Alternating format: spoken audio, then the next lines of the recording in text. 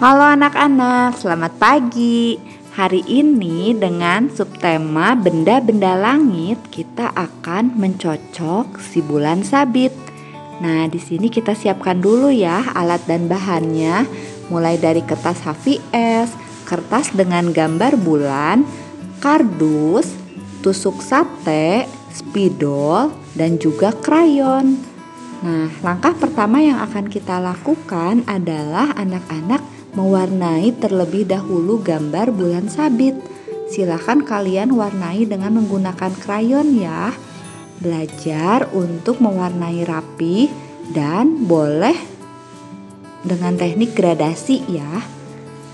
Nah, kalau sudah, kita akan siapkan kardus dan tusuk sate kita akan cocok bagian sisi dari si bulan sabit.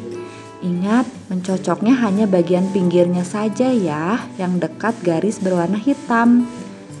Nah, cocok terus sampai semuanya nanti bisa terlepas seperti ini. Jadi tidak usah digunting. Nah, kalau sudah terlepas seperti ini, kita siapkan kertas HVS Tulislah nama, hari, dan tanggal. Hari ini Selasa 2 Maret 2021. Kalau sudah, kita beri lem pada gambar bulan, lalu kita tempel di kertas ya.